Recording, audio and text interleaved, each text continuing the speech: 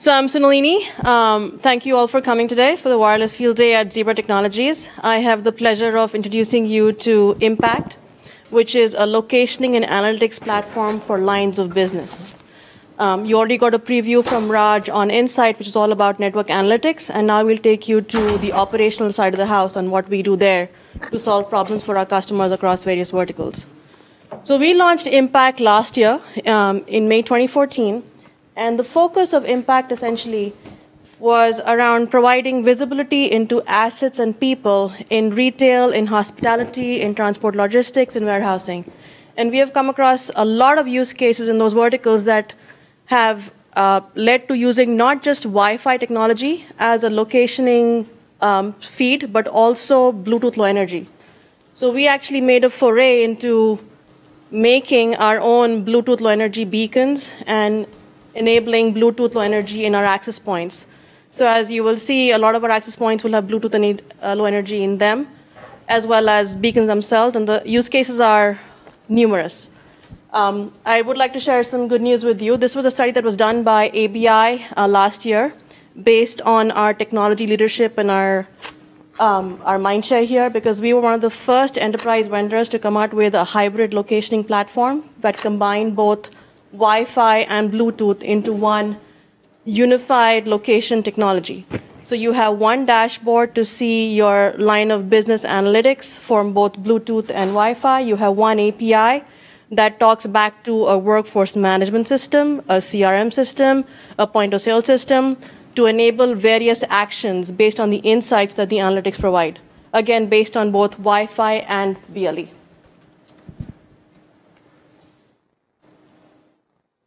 So a lot of use cases um, are there that you may already be familiar with, you may have heard um, since last year around locationing in retail. But it's all about personalizing the experience for shoppers as they walk into a store, or it's about either directly interacting with them via the application or customizing the environment around them. So you as a shopper may get an anonymous greeting that just welcomes you to the store, or you as a shopper may get you know, a digital sign that you walk in front of actually showing you content relevant to you. So there are myriad ways that locationing in retail is showing up to solve the same problems that the online e-tailing world has already done using locationing as the core technology. Similar use cases apply in hospitality about making the experience more personalized for the customer or the guest or the visitor. We also have a lot of use cases showing up in warehousing and transport logistics, again using Wi-Fi and Bluetooth Low Energy as the underlying sources for either tracking devices, tracking associates for productivity, or even um, trying to figure out where the right packages and are the packages being loaded in the right car to enable on-time deliveries. And uh, I think the key thing that we are seeing is that it's, if you look at the locationing technology world right now for indoor LBS, it's about you know, questions come around, is Wi-Fi the be-all end-all? Is Bluetooth the be-all end-all? The use cases that we are coming across, we're actually seeing that we are using a very complementary approach of Wi-Fi in certain areas in a deployment and then using Bluetooth Low Energy to complement that where micro-location is concerned. Um, I'll go a little bit into the architecture, and then we'll go straight into a demo in the interest of time. So as I mentioned, we offer a combined platform for Wi-Fi and Bluetooth Low Energy. The architecture for Wi-Fi, as you all are very familiar with, is about the access points sensing wireless clients, setting that data to a server that could be in the cloud or it could be in the NOC, and then doing the data crunching for location calculations. For Bluetooth Low Energy, the architecture is almost flipped.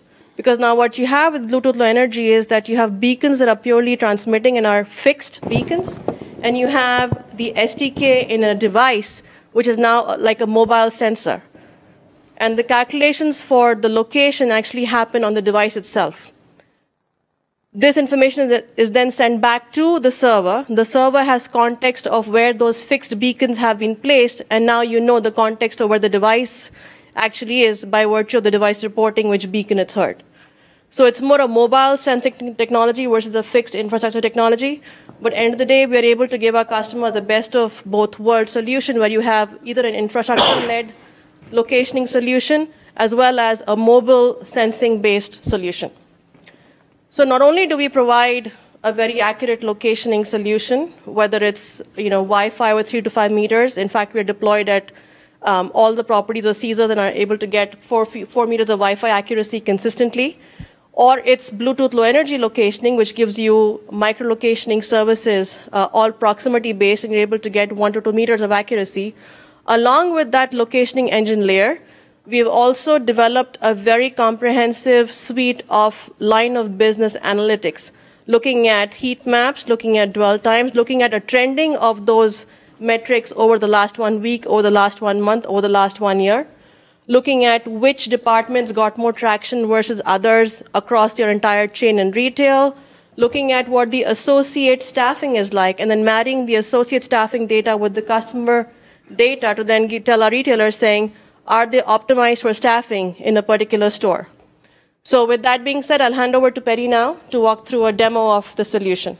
I am uh, Pedi Indukuri. I'm a part of our technical marketing team. So I would like to talk about our uh, MPact analytics today.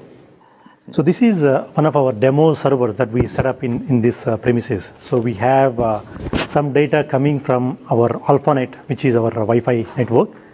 And we also have some sites uh, that have dummy data. So here, as you can see, so we have multiple sites and you can have a system level view that will give analytics across all the sites that we set up. Or you can actually select a specific site and we give visibility on a site level. So right now I am at a system level. So that means it provides aggregate data across all the sites. So if somebody is looking at it, so they have a visibility on uh, the total customers. So how many customers that are seen today across all the sites. And uh, you also see some arrow here either it's a downtick or uptick. So compared to yesterday. So that means today, so there is a 7% less number of customers compared to yesterday. So across all the sites. And you also have visibility on uh, the new customers. So, so how many percentage of customers are new versus how many are repeat. So you kind of get visibility on, on both. And we also provide average customer, average number of customers. So for the last 30 days across all the sites, what are the average number of customers seen. And uh, so this is average engagement time. So that is, if you have, say, X number of devices seen or X number of visitors seen, so we kind of like know the add up all the dwell time or the amount of time they spend, and then we kind of divide that uh, by total number of uh, devices seen. So you kind of get average engagement time. So this is uh, the snapshot and we also provide analytics. So you can historical analysis, right? So this one you can pick up any date and time and you can uh, get the visibility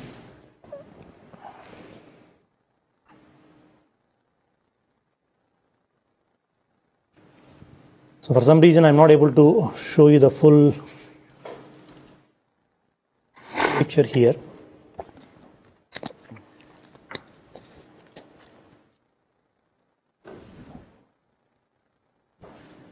So this is uh, the trending of uh, new customers, repeat, and uh, associates. So as Sunalini mentioned, we can actually categorize uh, the visitors as as the visitors, or like you know, if there are store associates, we can classify, and we kind of provide uh, the trending of of uh, the new customers, repeat, and associates. So you can pick up any date and time, and we we show you the trend of those devices.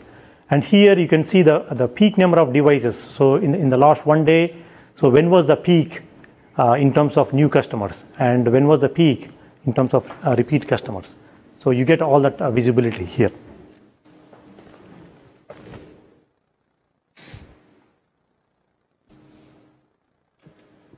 So we also show the uh, the visitors based on the profiling. So we have what is called engaged it's not shown up properly. Uh, engaged customers passing by and bounces. So bounces are any customers that are just walking uh, across the store, not necessarily coming into the store. And then uh, passing by, sorry, passing by is outside visitors and bounces are, are the number of uh, visitors that are coming in but spending less than five minutes. Okay? And then engaged is any visitor that is seen inside and spending more than 10 minutes. So we kind of profile all the visitors based on uh, where they are and how much time they spend.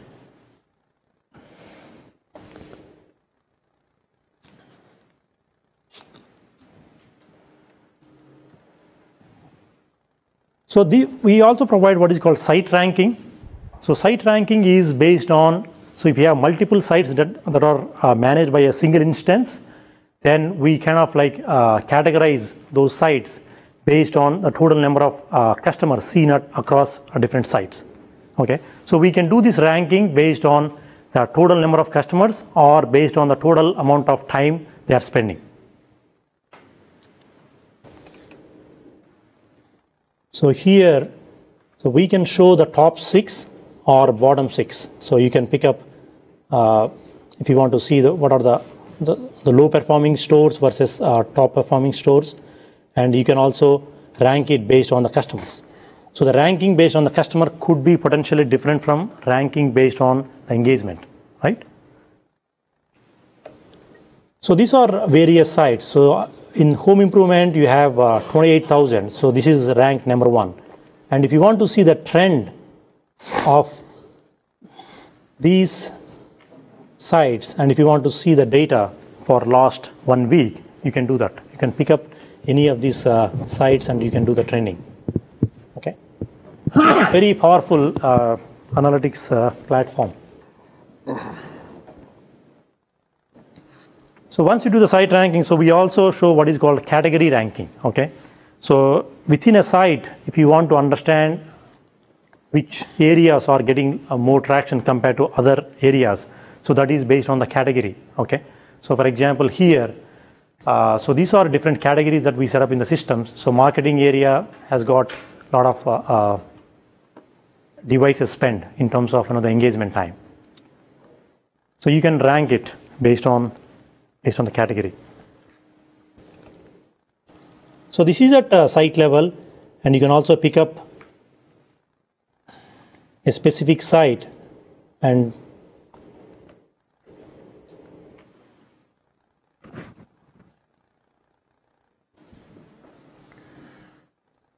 and do the analysis. So basically, it, it just shows the data only for that specific site. Okay, so quick question. So um, there you had a couple areas, and like uh, just as an example, like roulette is something that's a smaller footprint Yeah. typically. Yeah. Um, I know you, we're talking briefly about the hybrid sort of low energy Bluetooth and Wi-Fi. Yeah. Um, th- that information, those analytics, that come from either either or. Correct. So if the system is deployed to feed both Wi-Fi and BLE, this is aggregated view of all the devices. Okay. Yeah. So if you are looking at the data for a specific site, we have what is called active view, where you can filter devices based on Wi-Fi or BLE. Okay, so you could you could dig down into those like the roulette numbers and see if that was a Bluetooth or Yeah, absolutely. Yeah, you can pick up any specific site. So I'd also like to talk a little bit about notifications. So we spoke about analytics. Analytics, end of the day, is giving our customers data and visibility to what's happening, you know, in their location, be it again retail, hospitality, transport, logistics, warehousing. But all that data is meaningless if there are no actions that they can take on that data, right? So what we have done is we've developed a very sophisticated notifications engine where not only like other vendors you can give notifications on entry, exit, dwell time, but we've also built triggers around ratios and density. Use cases being, let's take the ratio example. You know, if the retailer has a threshold for so many associates for so many customers, let's say one associate for every 20 customers, and if that ratio goes out of whack, they will get a notification into their workforce management system saying, this event got triggered, please take action. Another uh, use case is about density. So they may say, not only do I want to know, you know, how much time people are spending in a particular area in front of a particular product category, but let's say it's the deli section in a grocery store or the point of sale register when you're checking out. and the trigger could be if this count of people exceeds 10 with a dwell time of 10 minutes, send me a trigger. So the store manager can now open up another cashier counter. So that's where, you know, from a sense, analyze, act framework, the actions come into play for lines of business with these notification triggers. This is what uh, Sunali is talking about. Uh, so we have what is called basic triggers. Because of screen resolution, I cannot really show the whole thing. So we have uh, entry, presence, dwell, and exit. So somebody enters into a specific area, you get uh, entry notification, and if, if they are actually staying for more than X amount of time, So they are, if they are present for that long, so we also trigger what you call presence and uh, dwell. Dwell, you can configure certain time, say five minutes. So if somebody is uh, staying in a specific area for say five minutes, so we trigger dwell notification. So that way, retailers can take action uh, and send associate to help the customers. Okay, and exit event. If somebody leaves that uh, region, we trigger exit event. So this is density based on again dwell time and number of uh, uh, devices that are in a specific area, and then ratio. Okay, so if uh, there are a lot of customers, but there are very few associate in a specific area, so you can define rules based on that. Uh, impact can trigger notification uh, to a store manager for sending out any associates.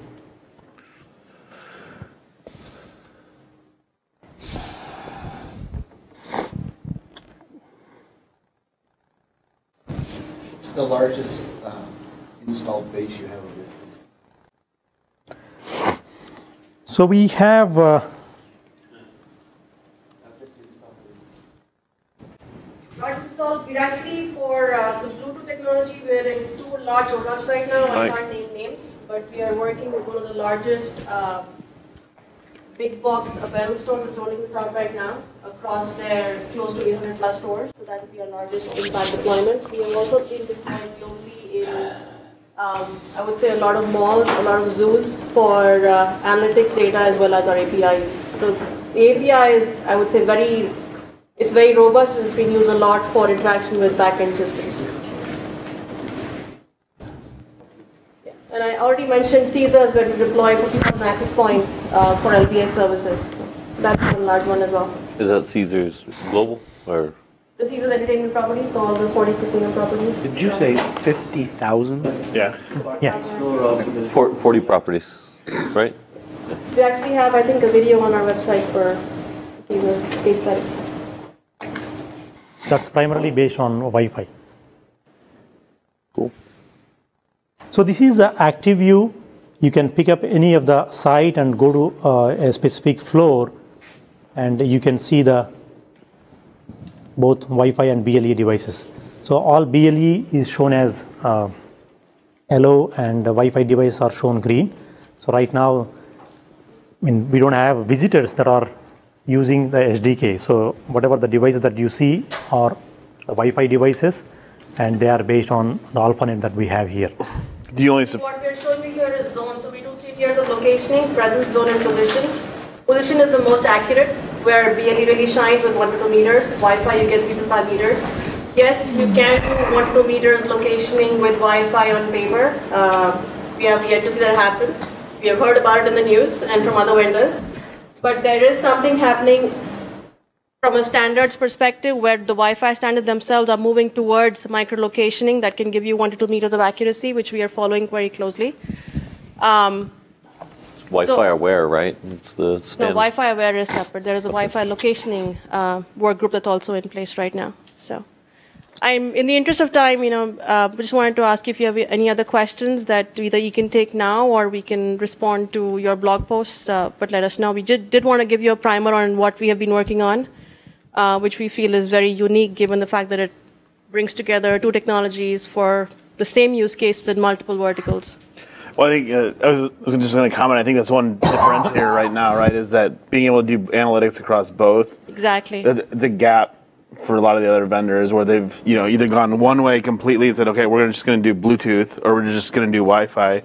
So being And able even for those who have done some Bluetooth and Wi-Fi, they still have two different systems